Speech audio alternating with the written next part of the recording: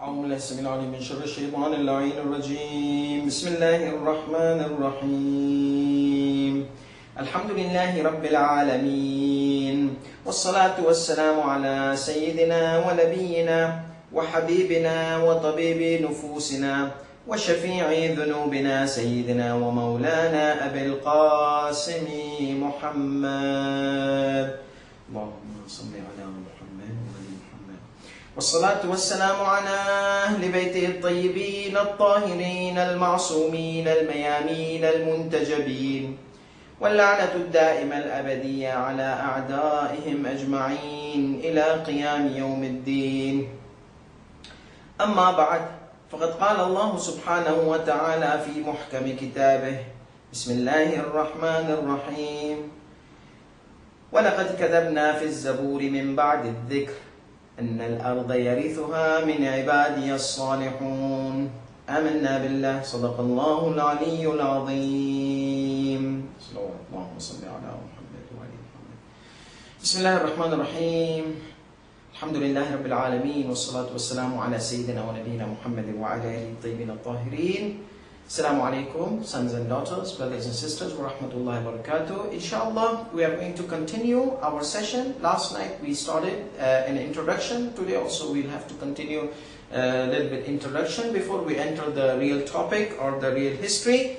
And today we are going to talk about uh, the approach of uh, Sayyid Muhammad al-Sadr, rahmatullah alayhi. We mentioned the analytical approach, uh, analytical approach, and then uh, uh, we mentioned that there are certain challenges. What are these challenges?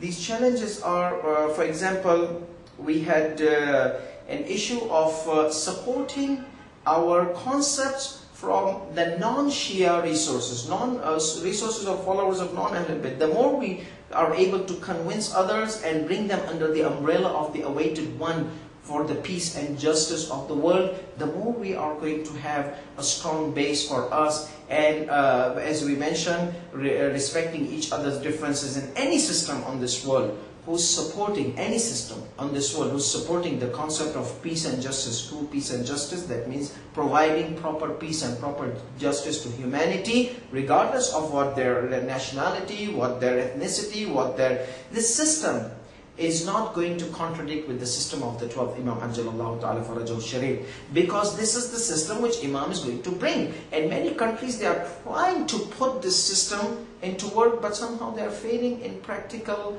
uh, when, when, when, when in applications when it's practically applied they cannot apply it properly. Why? Because the people who are, who are trying to apply this nice beautiful system of peace and justice they are, they are, they are corrupted people somehow. Many systems you will find that they want, they want and they love and there are some constitutions also placed to provide peace and justice. But the problem is those who people who are, who are implementing it are not uh, not, uh, I mean, um, uh, they, they, they lack peace and justice in themselves. So if you have people, they lack this peace and justice from inside themselves, how can they implement it on other people and the community? So that's why the, the, when the Imam comes, people, he will come when there will be people ready to implement from inside. It all starts from here, from inside, and then goes out. I, am I, if, if, if I'm a corrupted person from inside, how can I implement, or how can I apply, or how can I, uh, I, I work in the system? So that's why the whole idea is not just the system.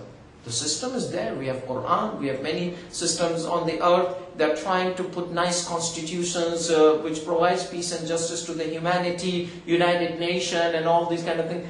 But practically, it's not being applied properly. Why?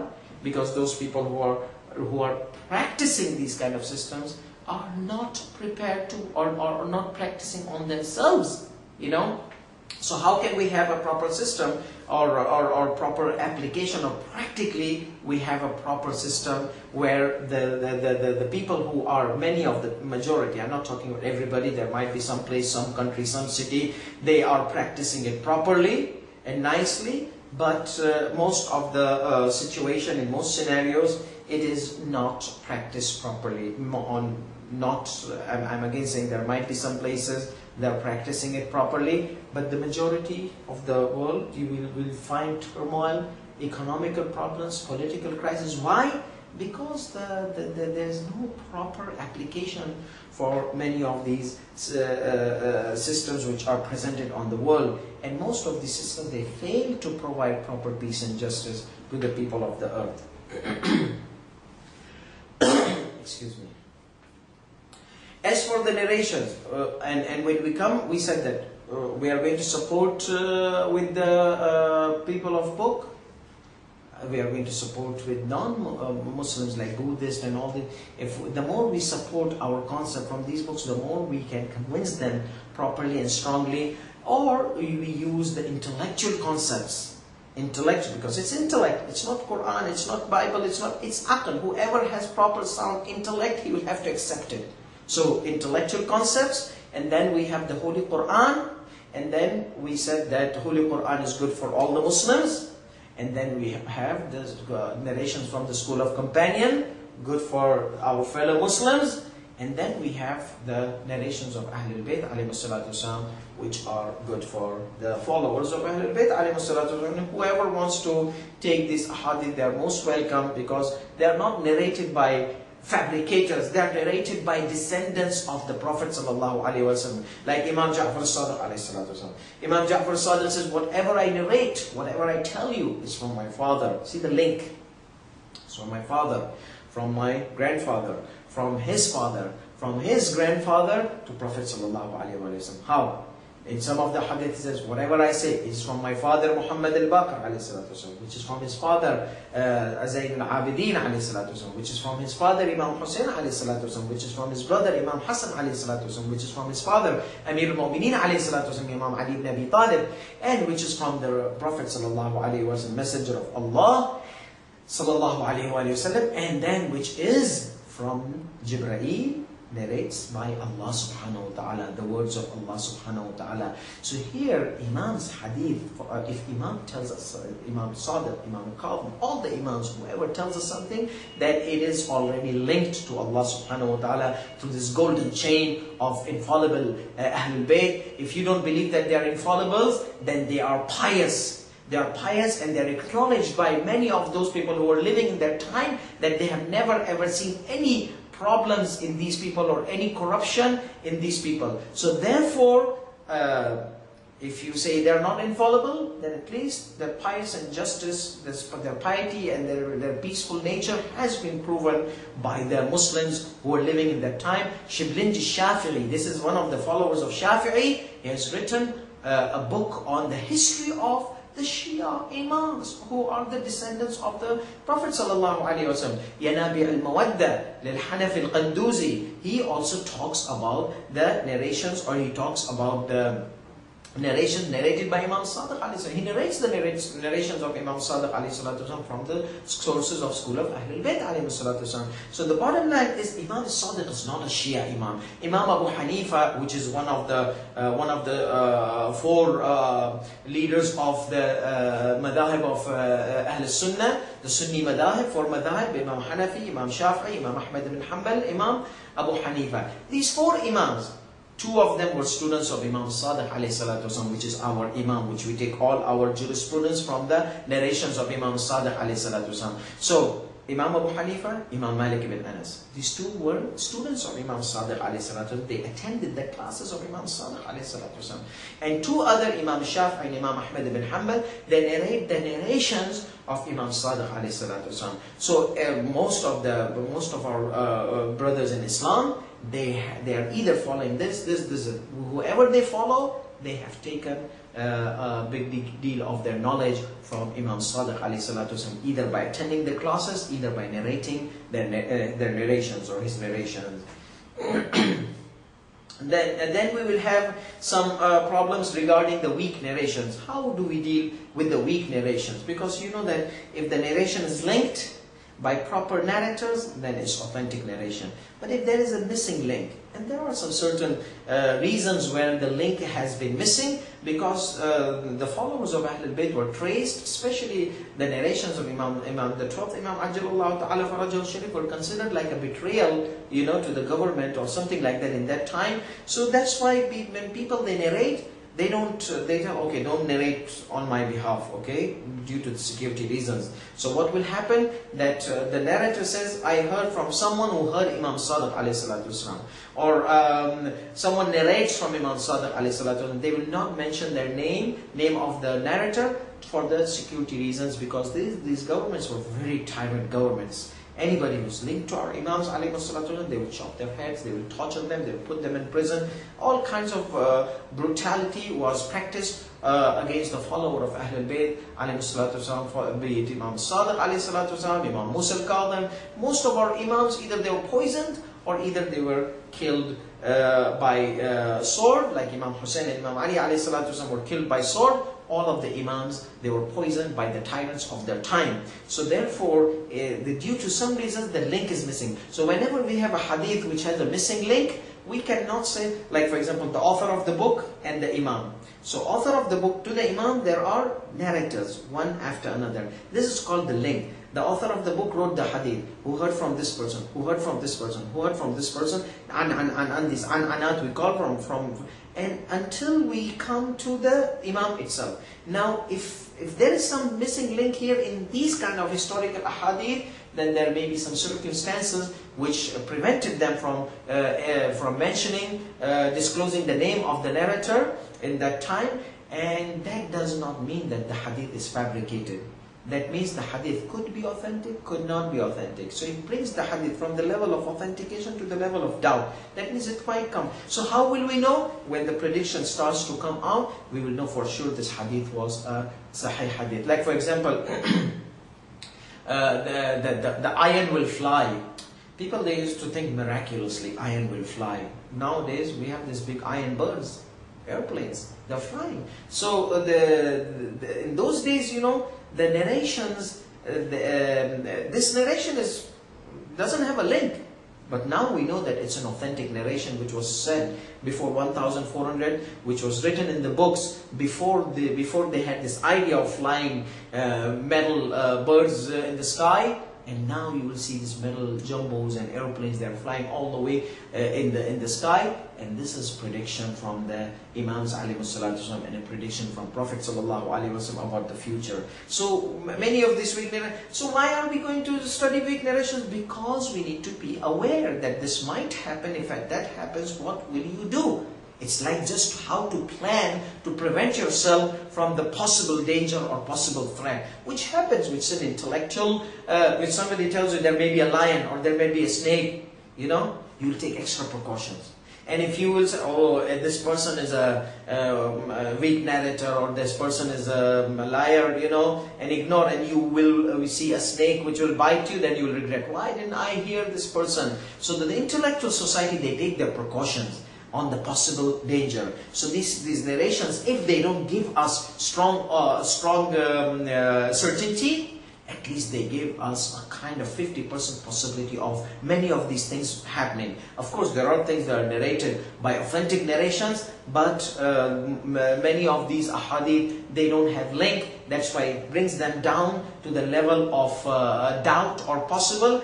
And our duty is to prepare ourselves because if this possibility happens, like the irons will, uh, iron will fly, then we will regret, oh, why didn't I hear the hadith? Why didn't I hear? Why didn't, why didn't I prepare myself? You know? So that's why the whole idea is. As for the narrations, which are not strong but create a link to generate historical chains of events, then we will consider it uh, in our research because it brings links to it links the events together. Like this is proven this is proven. There's a weak narration in between. It connects makes the link. We will take that to make a good uh, scenario link.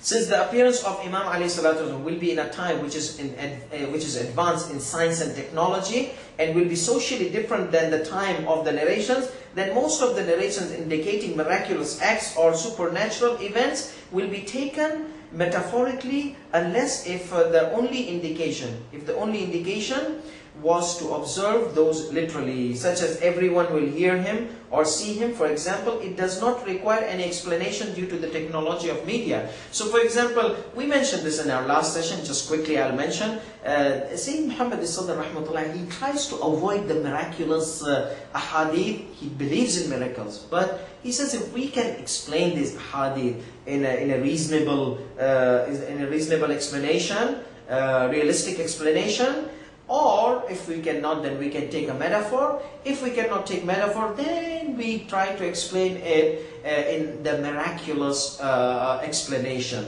So that's why if uh, everybody will hear, like uh, those days they will think, oh, miraculously. Nowadays, no. If you talk east and west, everybody can hear you. So because of the media technology, this hadith now can be understood.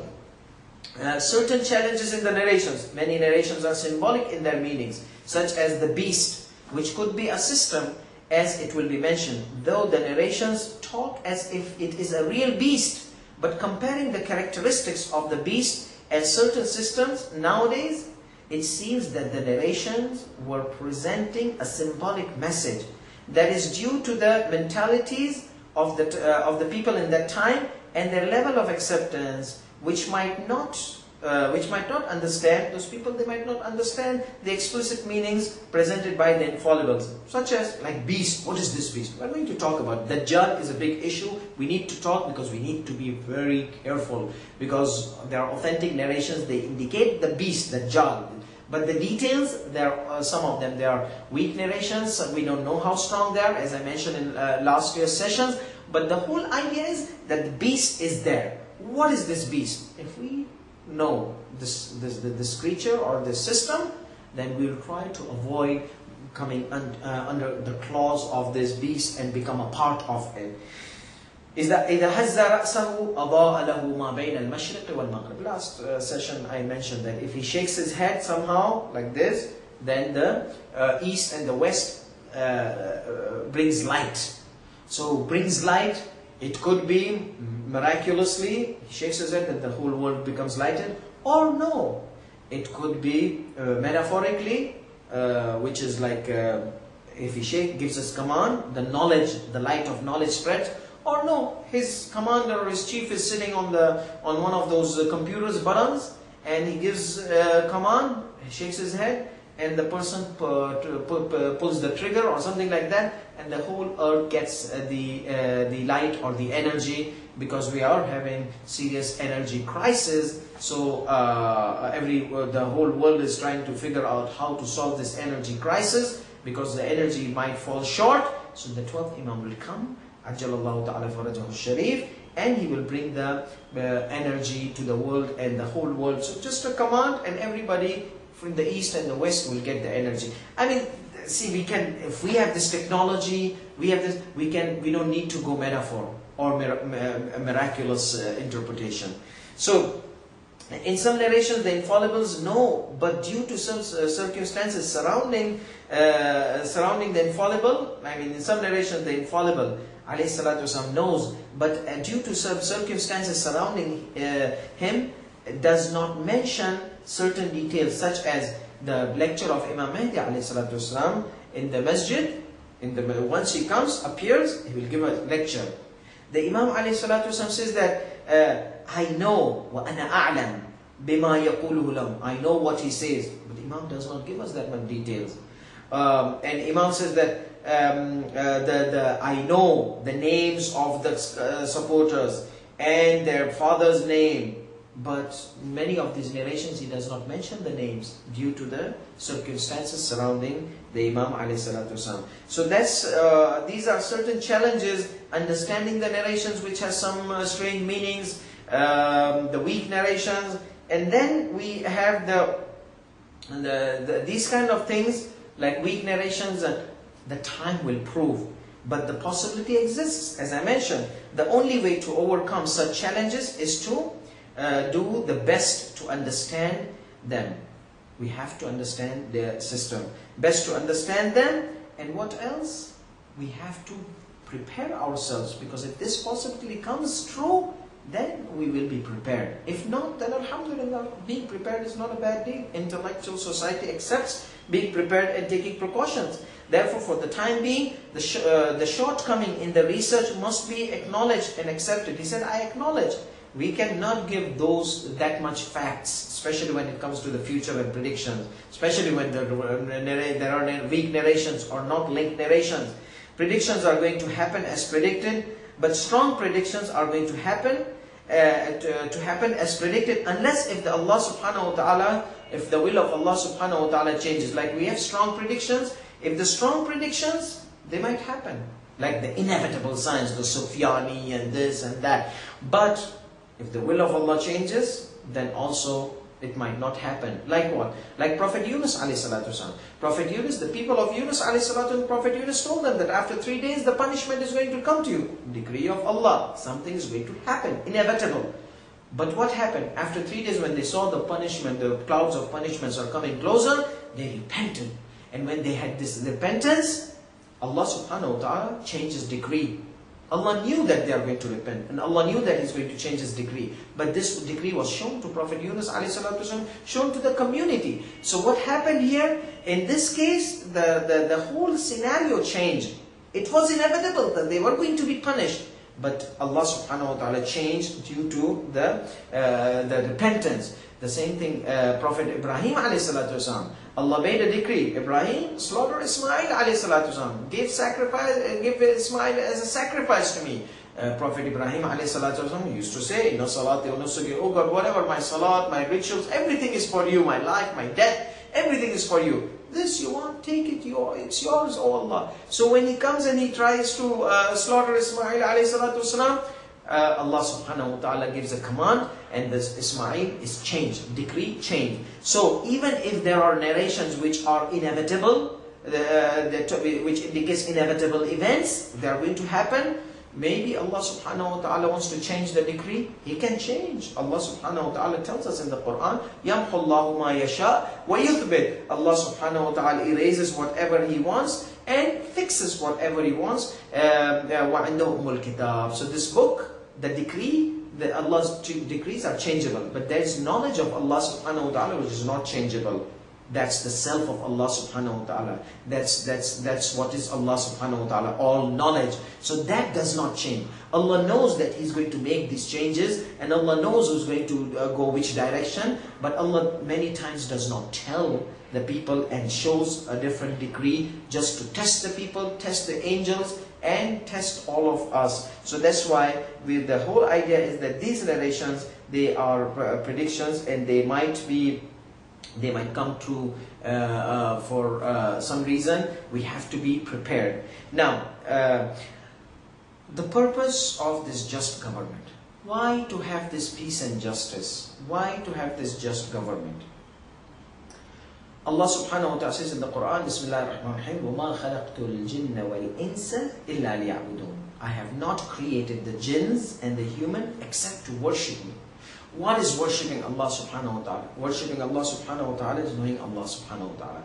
How can we know Allah subhanahu wa ta'ala? Through these secondary worships which are which is salat, which is fasting, all these worships, they take us towards the direction of knowing Allah subhanahu wa ta'ala, connecting with Allah subhanahu wa ta'ala, communicating with Allah subhanahu wa ta'ala. So all these, the, the whole salat, fasting, zakat, all these kind of things, they take us towards that direction, direction of connecting with Allah subhanahu wa ta'ala. The more we connect to Allah subhanahu wa ta'ala, the more we know Allah subhanahu wa ta'ala. But if we are not able to worship Allah subhanahu wa ta'ala proper worship, if we are not able to worship Allah subhanahu wa ta'ala the, the true worship, the ma'rifah, why? Because we are not able to do our Hajj properly. We are not able to do our Salat properly. We are not able. Many times we have these problems. We are not able to practice Islam properly. We are not able to live peacefully in order to focus in communicating with Allah subhanahu wa ta'ala. Our minds are all busy with political problems, with social problems, economical problems, salary, this, that, troubles. We are so much distracted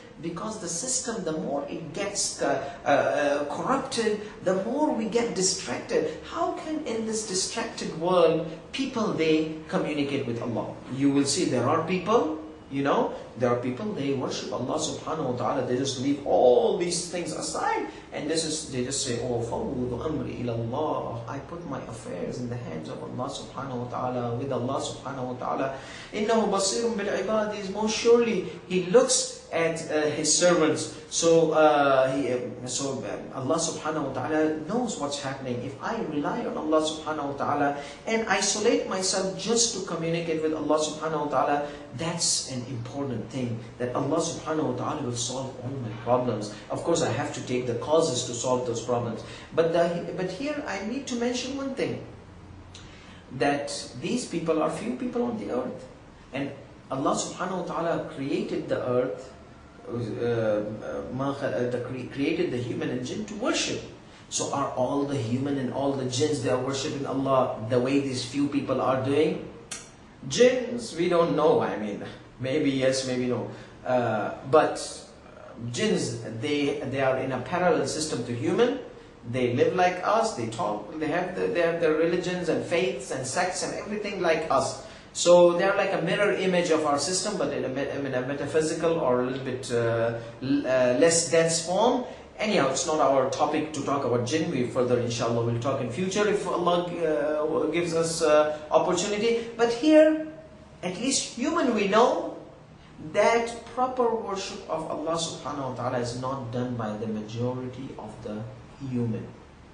That means we have to have a system where we can enjoy, celebrate the knowledge of Allah subhanahu wa ta'ala, knowing Allah subhanahu wa ta'ala, ma'rifatullah subhanahu wa ta'ala, the true worship. And Allah subhanahu wa ta'ala is going to bring that system so that the most of the human being on the earth, they can know Allah subhanahu wa ta'ala, worship Allah like those few people who are able to come out of this trap, this, this materialistic trap, and worship Allah subhanahu wa ta'ala the proper way. So uh, basically in this, uh, um, uh, so Allah subhanahu the main purpose of the criterion is to move towards perfection by knowing the exalted Allah subhanahu wa ta'ala, which, in, which is the real and true worship and should be the direction of every worshipper uh, or every worship prescribed. And that requires a perfect environment and a perfect society so that everyone can become close to Him uh, by properly worshipping Him. And that perfect, just society requires people who have reached that level of perfection and can teach others how to reach such levels. So, inshallah, we ask Allah subhanahu wa ta'ala to make the appearance of our 12th Imam soon. We ask Allah subhanahu wa ta'ala to keep us among His loyal and sincere supporters in his occultation and after his appearance. We ask Allah subhanahu wa ta'ala to bless all the beloved ones around the world, keep them safe and secure from every evil and every terror. And we ask Allah subhanahu wa ta'ala uh, to hasten the appearance of our beloved Imam and to bring the peace and justice soon uh, on the face of earth. وآخر دعوانا الحمد لله رب العالمين وصلى الله على محمد وآله الطاهرين